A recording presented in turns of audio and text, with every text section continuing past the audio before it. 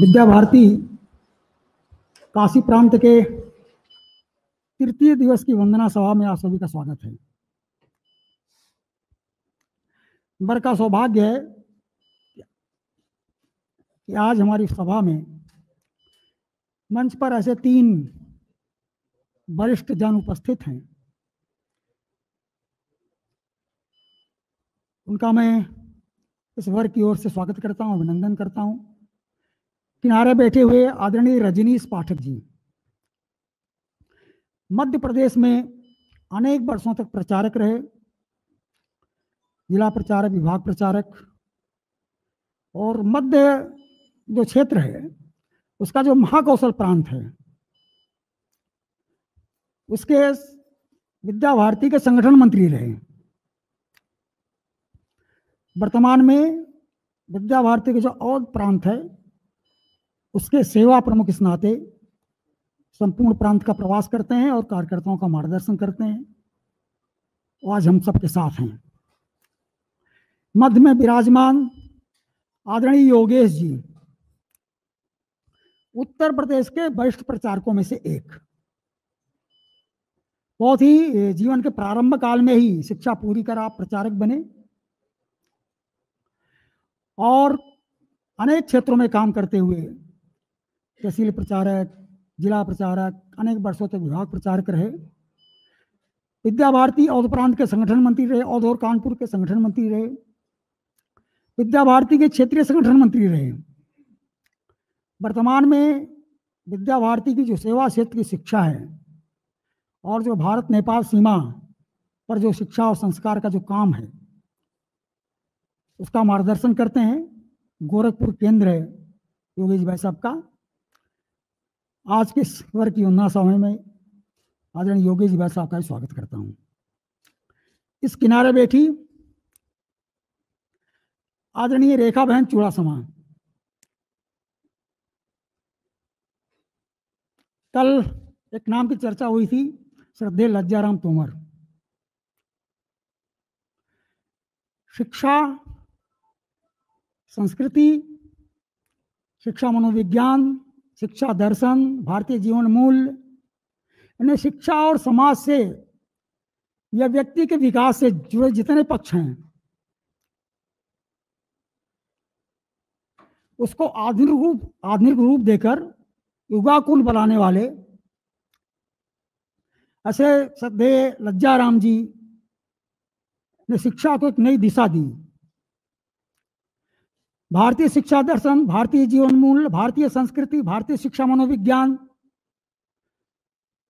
उसको का गहन अध्ययन किया और उसको युगानुकूल बनाकर संपूर्ण शिक्षा जगत को भारत को एक नई दिशा दी। अनेक पुस्तकों का लेखन किया। आज उन्हीं को पढ़कर विद्या भारती न केवल भारत में, परंतु दुनिया के शिक्षा जगत में शैक्षिक जगत का मार्गदर्शन कर रही है। सद्य लज्जा राम जी के बहुत ही नज़दीक रहने वाले,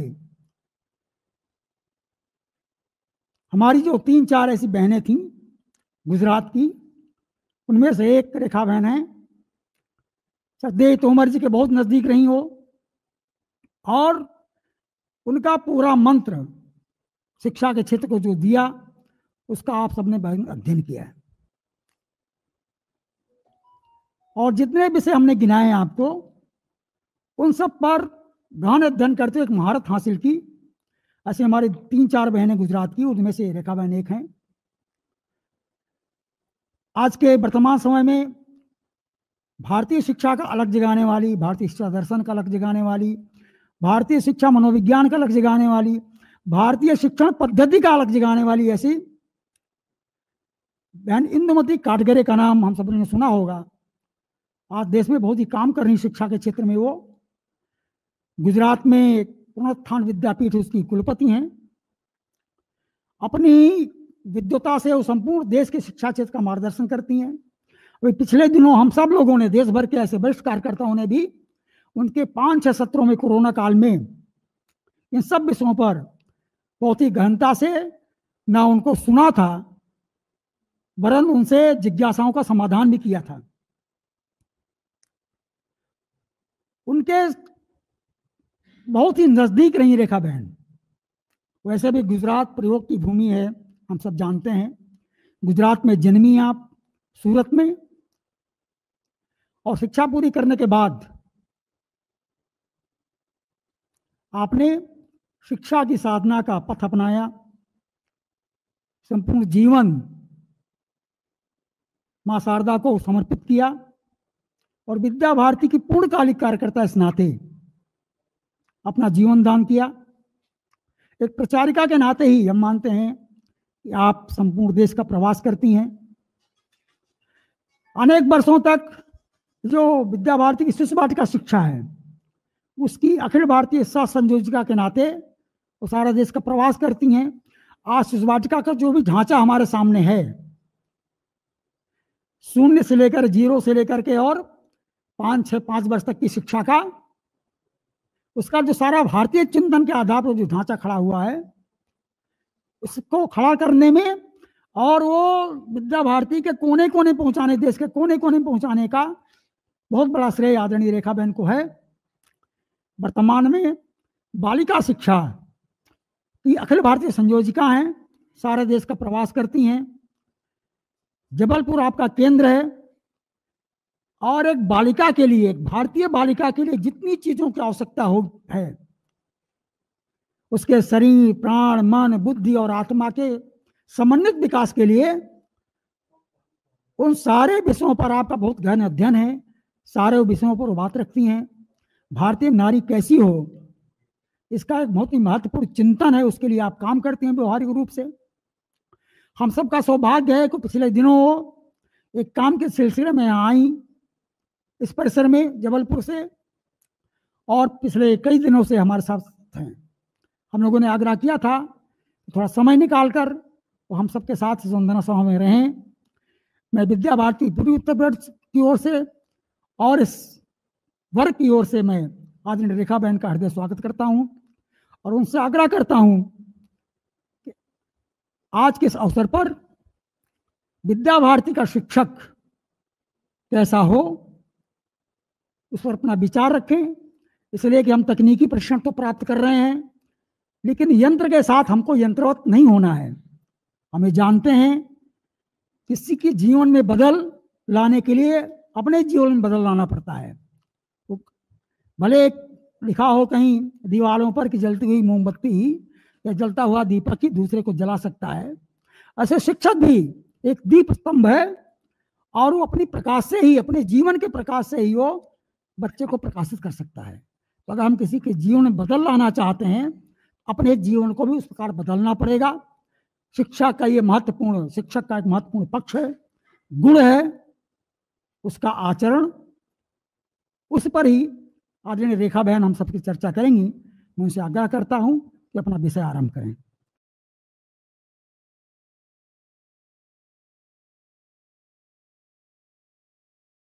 उच्च टेक्निक डिजिटल सूचना संवाद केंद्र के इस प्रशिक्षण वर्ग में विद्या भारती पूर्वी उत्तर प्रदेश क्षेत्र आयोजित इस वंदना सभा में मंचस्थ महानुभाव, नीचे विराजमान भास्कर दुबे जी, प्रदेश निरीक्षक एवं सभी गोरक्ष प्रांत से उपस्थित आचार्य बंधु भगिनी, सबको मेरा नमस्कार।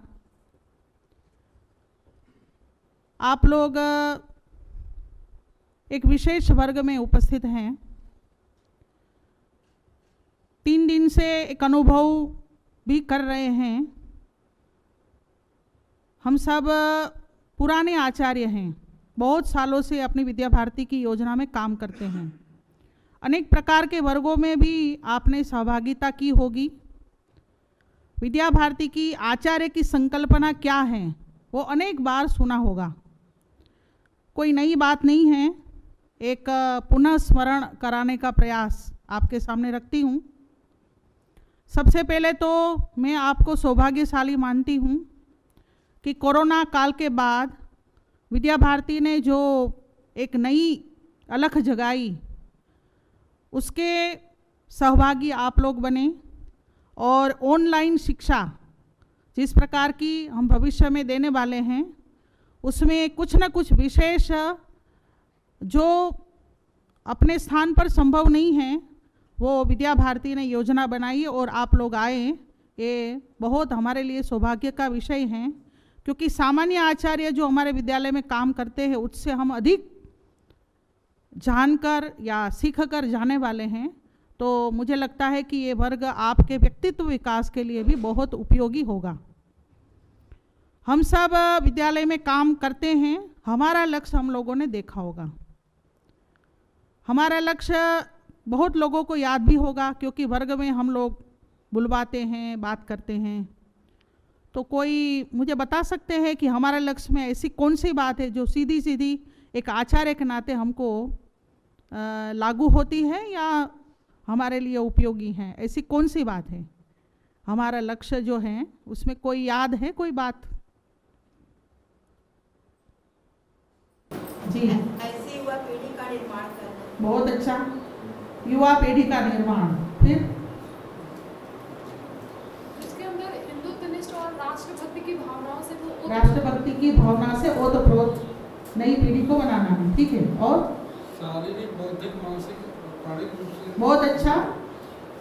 विद्यार्थी का सर्वांगीण विकास करना है माने शारीरिक मानसिक बौद्धिक आत्मिक इस प्रकार का विकास करना है। बहुत अच्छा। और? जो बाकी है वही बोलेंगे पूरा उत्तर नहीं होना। जो जीवन की वर्तमान सफल वाह बहुत अच्छा। जीवन की वर्तमान चुनौतियों का सामना कर सके इस प्रकार की पीढ़ी का निर्माण ठीक है? एक पहला वाक्य क्या है? सबसे पहला वाक्य। इस प्रकार की राष्ट्रीय शिक्षा प्रणाली का विकास करना। जी। इस प्रकार की राष्ट्रीय शिक्षा प्रणाली का विकास करना है।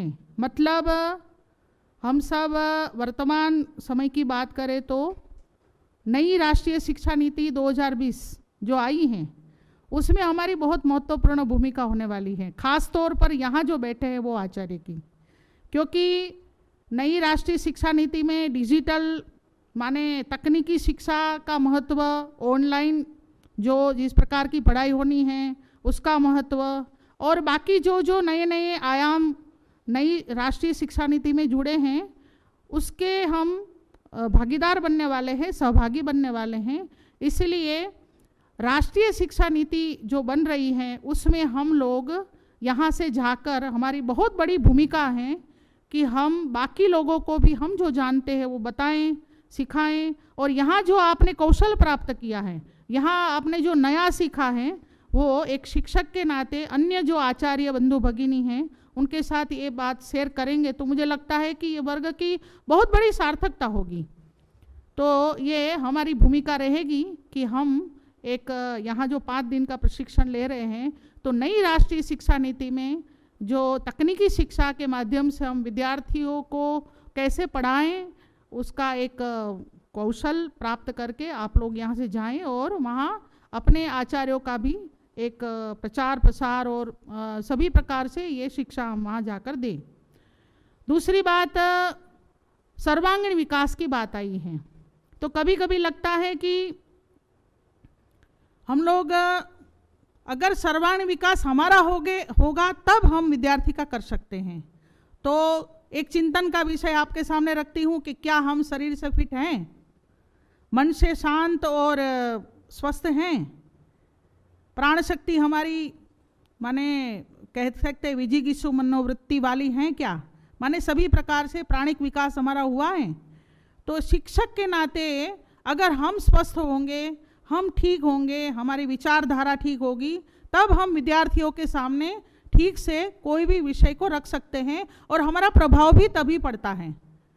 अगर हमारा ही विकास नहीं हुआ है तो हम विद्यार्थी के सामने क्या अपना अपने प्रेरणा देंगे? तो कहने का मतलब ये है कि ये कोरोना काल में अभी जो परिस्थितियाँ बन रही हैं, इसमें हम अपने स्वयं को कैसे ठीक रखें और अपने विद्यार्थियों को पढ़ाते पढ़ाते अपने पाठ्य विषय के साथ साथ कुछ ऐसी प्रेरणा दे जो हमारा विद्यार्थी स्वस्थ रहे। जैसे मैं बालिका शिक्षा में काम कर रही हूँ तो कुछ बालिकाओं को मिलती हूँ तो कभी कभी एकदम दुबली पतली बालिका रहती है तो मैं उनसे संवाद करती हूँ कि, बेटा, तू कित, इतनी पतली क्यों है? तो कि, देखो, आज तो ज़ीरो फिगर का ज़माना है, फ़ैशन है, पतला रहना।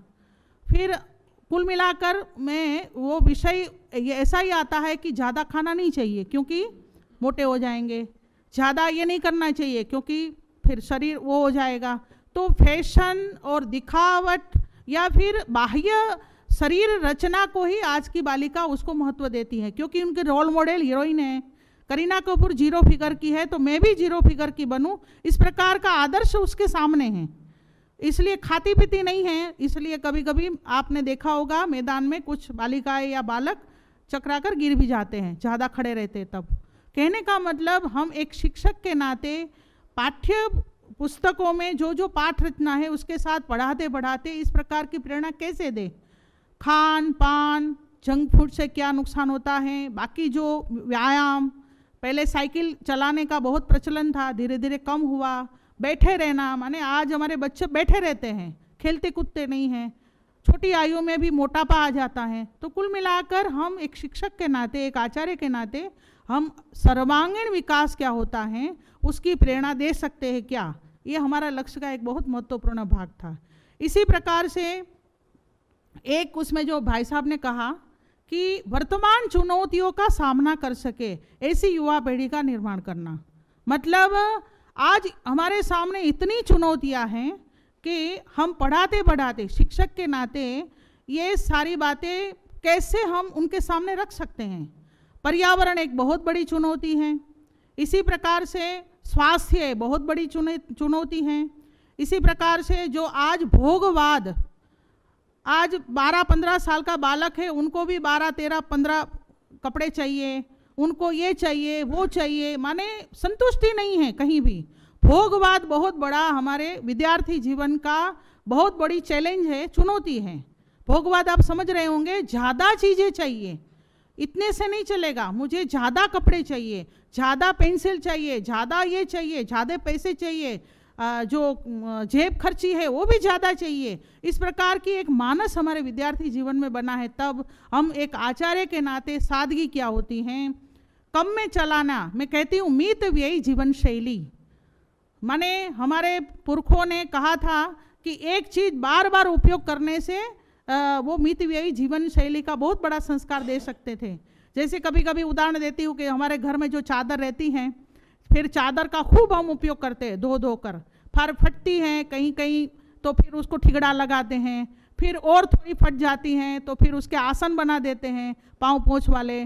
फिर धीरे धीरे फटती है तो उसका रसोई का पोछा बनाते हैं। फिर पोछा धीरे धीरे घिस के वो कूड़े में जाता है। तो कितनी प्रोसेस एक चीज़ पर होती इसको कहते हैं मितव्ययी जीवन शैली। तो आज की सबसे बड़ी चुनौती है कि अर्था अर्थार्जन की ओर हमारा विद्यार्थी आकर्षित हो रहा है। उसको ही सुख मानता है, उसको ही सुविधा मानता है।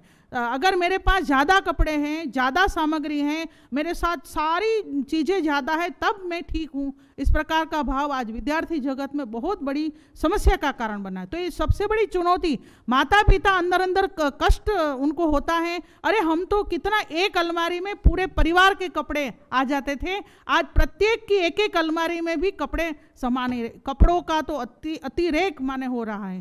कहने का मतलब है कि हम ये जो चैलेंज है, जो चुनौतियाँ हैं समाज की, प्लास्टिक की, इतनी सारी चुनौ, मैं कभी कभी बालिकाओं के साथ विषय शेयर करती हूँ। अपनी माँ को बताओ कि कपड़े की थैली लेकर सब्ज़ी लेने जाएँ।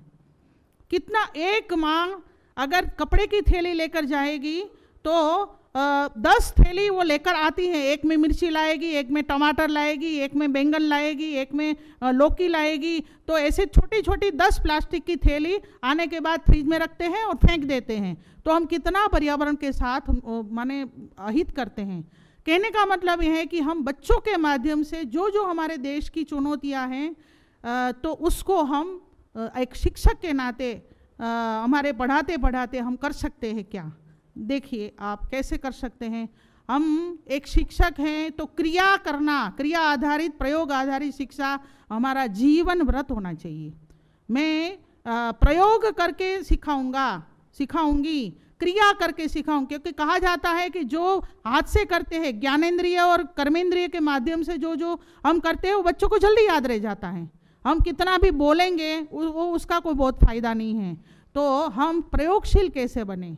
क्रिया आधारित शिक्षा कैसे दे? उसका एक विचार हम एक आचार्य नाते करें तो मुझे लगता है अच्छा रहेगा। इसी प्रकार से हम हम आचार्य बने हैं। तो मन से हम आचार्य बने हैं क्या? या मजबूरी से बने हैं? क्योंकि कभी कभी कहीं नौकरी नहीं मिली, सरकार में बहुत प्रयास किया विद्या भारती में आ गए, क्या करें? मजबूरी है। चलो, मजबूरी एक समय तो होगी, लेकिन मजबूरी को भी मन से स्वीकार करके हम विद्या भारती के आचार्य के नाते अपना मन ऐसा बना सकते हैं कि मैं एक बहुत बड़ा राष्ट्रीय काम कर रहा हूँ, कर रही हूँ। मतलब मनुष्य का निर्माण कर रही हूँ, कर रही हूँ, कर रहा हूँ। मतलब जैसे कहा है, कुछ महापुरुषों ने कि वर्ग खंड में विद्यार्थी जो रहते हैं, उसका भविष्य शिक्षक घड़ता है। इसका मतलब हम लोग राष्ट्रीय चुनौती जो है कि आज शिक्षा की जो दशा है, आज जो शिक्षा की समस्या है, उसको हम ठीक करने के लिए हैं। इस प्रकार का भाव हम लोग कर सकते हैं क्या? तो मेरा ऐसा कहना है कि हम लोग मन से आचार्य बने, आचार्यत्व स्वीकार करें। आचार्य चाणक्य ने कहा है कि हम लोग राष्ट्र की जो समस्या है, राष्ट्र की जो चुनौतियाँ है शिक्षा के माध्यम से कैसे उसको शिक्षक ही कर सकता है प्रलय और निर्माण। वो किसकी गोदी में रहता है? शिक्षक की गोदी में रहता है। कहने का मतलब ये उच्च आदर्श जो हैं परिस्थितियाँ होगी कुछ अ, बाकी भी बातें होगी उसको छोड़कर एक बार हमने शिक्षक बनने का व्रत लिया है तो मैं प्रामाणिकता से उसको निभाऊँगा, उसको निभाऊँगी और मेरे जो विद्यार्थी हैं, उसमें ऐसी अलग जगाऊं जो देशभक्ति से ओतप्रोत बने, समाज और देश के लिए विचार करें, इस प्रकार की अलग जगाने का काम शिक्षक का है। तो कहने का मतलब ये है कि हम लोग आचार्यत्व को स्वीकार करें और उसको विकसित करें और अच्छे आचार्य बनने का प्रयास करेंगे जो मुझे लगता है अच्छा है। आचार्य मेरा मिशन बनना चाहिए। मेरा मिशन क्या है? मैं शिक्षक हूँ। तो मेरा मिशन है पढ़ाना। मेरा मिशन है विद्यार्थियों के साथ आत्मीयता बनाना। मेरा मिशन है विद्या भारती को जानना। आज पूरे देश में जो शिक्षा जगत के अलग अलग क्षेत्र हैं, उसमें विद्या भारती अखिल भारतीय स्तर पर ऐसा क्षेत्र है जो असरकार, माने सरकारी नहीं है, माने सरकारी सहायता से नहीं चलता।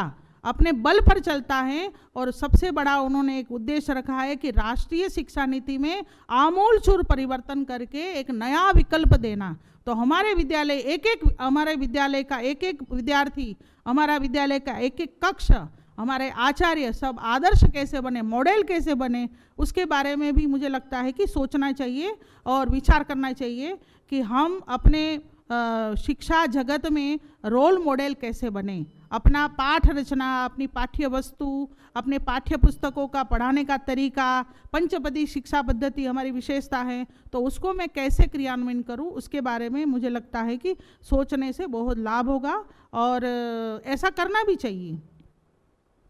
इसी प्रकार से विद्या भारती ने एक व्रत लिया है, शिक्षा के माध्यम से समाज परिवर्तन करना। तो समाज परिवर्तन में एक शिक्षक हूँ तो कैसे करूँगा? कैसे करूँगी? उसके बारे में आज विचार करने की बहुत आवश्यकता है। ये वंदना सभा को चिंतन सत्र या विचार सत्र कहा जाता है। तो कुछ विचार मैं आपके सामने रखती हूँ कि जैसे समाज परिवर्तन करने के लिए आप कहेंगे, हम क्या करेंगे? हम तो बच्चों को पढ़ाएँगे, गणित पढ़ाएँगे, भाषा पढ़ाएँगे। तो आप लोग बहुत कुछ समाज परिवर्तन में सहभागी कर सकते हैं। आप जितने भी संकट हैं अगर संकटों को समझकर विद्यालय स्तरीय विद्यार्थियों के माध्यम से उसका उपाय कैसे कर सकते हैं? अगर आचार्य सोचता है, शिक्षक सोचता है तो मुझे लगता है कि उसका बहुत अच्छा परिणाम परिवार में जाएगा। हम जब, मैं भी विद्यालय से प्रधानाचार्य के नाते काम किया तो हम उस जमाने में जब मैं प्रधानाचार्य थी तो स्वदेशी का बहुत चला था। तो स्वदेशी विषय को लेकर इतना विद्यालय में पूरा एक वातावरण बना था कि बच्चे तुरंत कहते, ये स्वदेशी है, विदेशी है? और उस समय हमने कॉलगेट वगैरह की होली भी जलाई थी और एक एक वातावरण बना था। कुल मिलाकर जितनी भी समस्याएँ हैं, जितनी भी चुनौतियाँ हैं हमारे समाज की, हमारे देश की, हमारे परिवार की तो उस दृष्टि से हम एक समाज की जो शिक्षा में परिवर्तन करने का एक, उन्होंने एक संकल्प लिया है। उसके बारे में हम कैसे सोच सकते हैं? छोटी छोटी बातों में हमारे बच्चों की दृष्टि कैसे बदल सकते हैं? तो मुझे ऐसा लगता है कि शिक्षक का बहुत बड़ा दायित्व भी है और आचार्य का धर्म भी है। तो उस दृष्टि से आप पर्यावरण का संकट है, परिवार प्रबोधन। आज मैं जब भी यहाँ आती थी, शिशु वाटिका में प्रवास किए, करती थी तो मैं, मुझे यही सबसे बड़ी कमी ये लगती थी कि परिवारों को अपना विचार देना चाहिए। हम मातृ सम्मेलन करते हैं तो सिर्फ़ परीक्षा की बात करते हैं या फिर रिज़ल्ट की बात करते हैं या बस ये ये होमवर्क की बात करते हैं। लेकिन आपके बालक की भूमिका इस देश के लिए क्या होनी चाहिए? आपकी भूमिका परिवार का वातावरण कैसा होना चाहिए? माता पिता का व्यवहार क्या होना चाहिए? माता पिता मनोवैज्ञानिक रूप से बच्चों को कैसे जान सकता है? ये जो छोटी छोटी बातें हैं, वो भी कभी कभी बच्चों के सामने नहीं माता पिता के सामने रखनी चाहिए।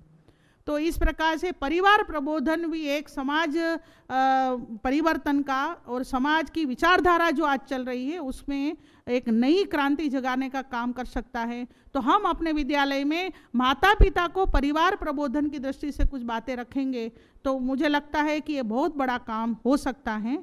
तो समाज परिवर्तन का जो काम है, उसमें हम लोग पर्यावरण का जो संकट है, आज नए नए जो समस्या आ रही है, तकनीक की जितनी भी प्लस पॉइंट है तो माइनस पॉइंट क्या है, वो भी माता पिता को अवगत कराना चाहिए। और बाकी जो जो बातें हैं, वो एक समाज परिवर्तन में शिक्षक की भूमिका बहुत महत्वपूर्ण है। इससे कोई अच्छी भूमिका हो ही नहीं सकती, किसी की भी नहीं हो सकती। उद्योगपति की भी नहीं हो सकती और कोई भी व्यवसाय की नहीं हो सकती जितनी शिक्षक की है। तो समाज परिवर्तन एक शिक्षा के माध्यम से विद्या भारती का लक्ष्य है। तो जब ये लक्ष्य को पूर्ति करनी है तो मुझे लगता है कि आचार्य की बहुत अच्छी भूमिका है। राष्ट्र प्रेम, देशभक्ति, समाज के प्रति समर्पण और हमारे जीवन में है क्या? मैं राष्ट्रभक्त हूँ क्या? या मैं समाज की जो जो समस्या है, उसके प्रति संवेदनशील हूँ क्या? अपने आप समर्पण भाव अंदर से जगेगा, समय देने लगेंगे, हमारा जीवन मिशन हो जाएगा। तो आचार्य की भूमिका ये भी है कि जो हम देशभक्ति की बात करते हैं तो हम देशभक्त हैं क्या? देश के अनुरूप अपना जीवन जी रहे हैं क्या? हम ही पर्यावरण को तो नुकसान नहीं कर रहे हैं। हम ही तो कुछ न कुछ जिस प्रकार से समाज की जो जो समस्याएँ हैं, उसमें हम एक समस्या जोड़ते जोड़ते तो नहीं हैं। कहने का मतलब ये है कि हम, हमारा जो जीवन है, वो देश प्रेम से ओतप्रोत हो, तब एक आचार्यत्व एकदम उसका एक परिणाम भी आता है और उसका एक कहते हैं कि बच्चे प्रेरणा भी लेते हैं। इसी प्रकार से कल्पनाशीलता आचार्य में कल्पना होनी चाहिए, कौन सी परिस्थिति में क्या होगा तो कैसे होगा? किस प्रकार से ये पाठ हैं तो ये पाठ मैं कैसे पढ़ाऊँगा? अभिनय के माध्यम से, नाट्य के माध्यम से, कोई भी पाठ कितनी भी कठिन से कठिन कोई पाठ विषय वस्तु है, उसको हम सहजता से, सरलता से, प्रयोग के माध्यम से कैसे पढ़ाऊँगा? ऐसी कल्पनाशीलता, मौलिकता मौलिकता का विकास आचार्य में होना चाहिए, प्रामाणिकता मैं, मेरे पास जो छः घंटे हैं, उसमें प्रामाणिकता से मैं काम करूँगा। इस प्रकार का प्रण हम ले सकते हैं क्या? कहने का मतलब ये है कि हमारा आचार्य गतिशील होना चाहिए, क्रियाशील होना चाहिए, प्रयोगशील होना चाहिए। तो मुझे लगता है कि जो मेरे पास पंद्रह बीस मिनट थी, उसमें मैंने विषय रखा है।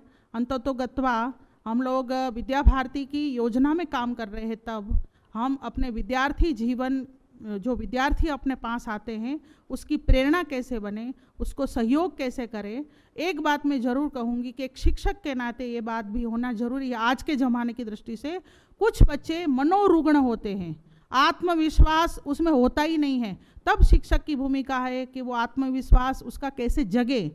कभी बच कभी कभी बच्चे परेशान भी रहते हैं, अंदर मनोमन, और उसको हम हड़का देते हैं।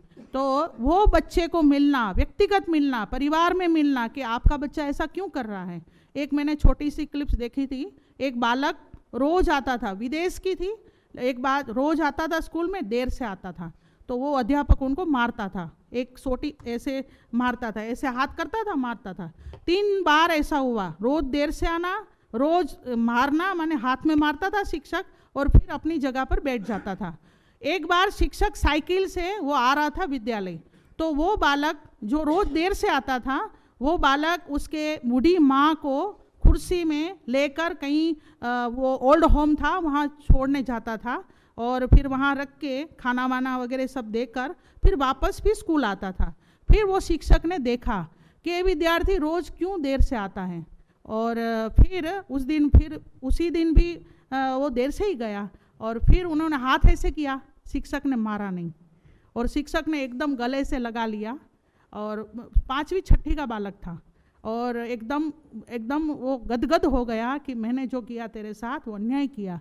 कुल मिलाकर शिक्षक की भूमिका है कि बालकों की मनस्थिति अगर सही नहीं है तो सही करना, परिस्थिति क्या है उसके अनुसार हम उनके साथ व्यवहार करेंगे। तो मुझे लगता है कि ये बहुत शिक्षक के नाते हम विद्यार्थी जीवन में एक नया सवेरा भी ला सकते हैं नई आशा भी ला सकते हैं। अ, बस इतना कह के मेरी बात पूर्ण करती हूँ और आप सबको ये नई योजना जो बनी रही है विद्यार्थी विद्या भारती उत्तर प्रदेश की ओर से इसमें सफल हो उसमें तज्ञ बनकर अपने विद्यालयों में योजना से आप लोग काम करें और एक राष्ट्रीय परिवर्तन जो हो रहा है उसमें हमारा भी योगदान हो उस प्रकार की शुभकामनाओं के साथ मेरी बात पूर्ण करती हूँ। अस्तु।